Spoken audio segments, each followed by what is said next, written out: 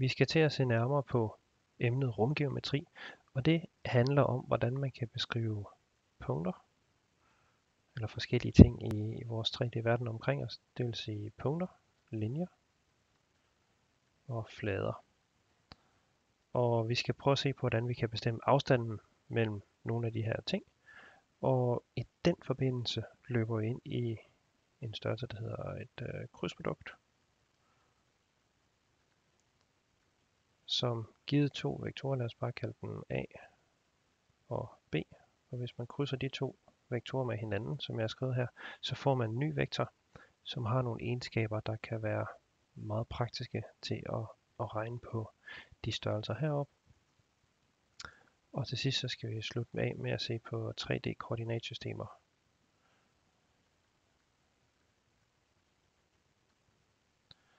Og med 3D-koordinatsystemer, så tænker jeg på forskellige måder at angive positioner i 3D. Vi kender det normale x, y, z øh, koordinatsystem, hvor vi har fortæller, hvor langt vi går ud af henholdsvis x, y og, og z-aksen.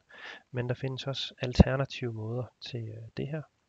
Blandt andet kan man lave noget med polarkoordinater, hvor man har en afstand og en vinkel, man går ud i xy-planet, og så til sidst, hvor meget man skal op af z-aksen. Og øh, der findes også en anden formulering, hvor man har igen en øh, afstand, man skal gå ud, så hvor langt man, hvilken retning man skal gå ud nede i xy-planet, og så til sidst, hvor, hvilken øh, vinkel man skal gå væk fra øh, z-aksen for at komme ud til punktet. Øhm, så det er det, vi kalder kartesiske koordinater, når vi har dem med i de her vinkelrette retninger x, y og z. Så har vi polære eller egentlig cylinderkoordinater,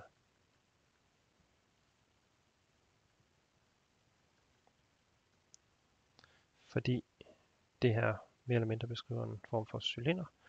Og det sidste, det er det, vi kalder sfæriske koordinater.